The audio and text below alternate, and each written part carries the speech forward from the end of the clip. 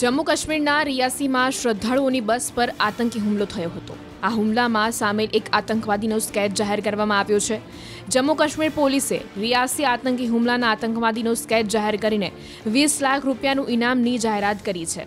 બાતમી આપનાર વ્યક્તિને આ વીસ લાખ રૂપિયાનું ઇનામ આપીને સન્માનિત કરવામાં આવશે. ઉલ્લેખનીય છે કે રિયાસીમાં પ્રવાસીઓ ભરેલી એક બસ પર આતંકીઓએ હુમલો કર્યો હતો, જે બાદ બસ બેકાબુ બનીને ખીણમાં ખાબકતા નવ લોકોના મૃત્યુ નીપજ્યા હતા.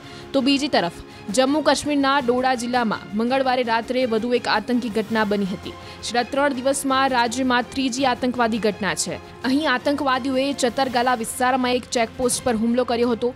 જવાબી કાર્યવાહીમાં એક આતંકવાદી ઠાર કરાયો છે.